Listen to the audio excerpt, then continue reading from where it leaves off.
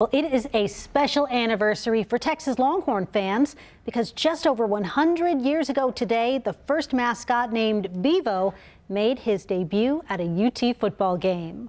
Here's the backstory with Bob Buckalew.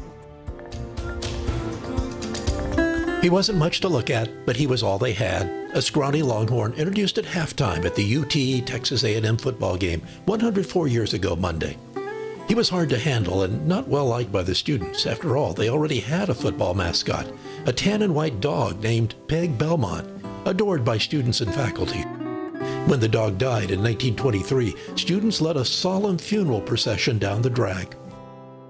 But back at Clark Field for the 1916 game, a victory for UT.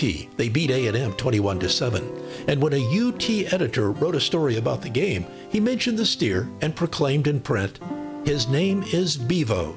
Long may he reign. Where did he get the name Bevo? Well, there was a popular non-alcohol drink at the time, a near beer called Bevo.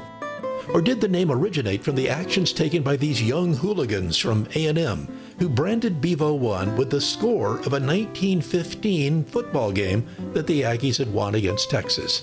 The legend goes that when UT students saw this, they converted the score into the name Bevo. Not true, say UT historians.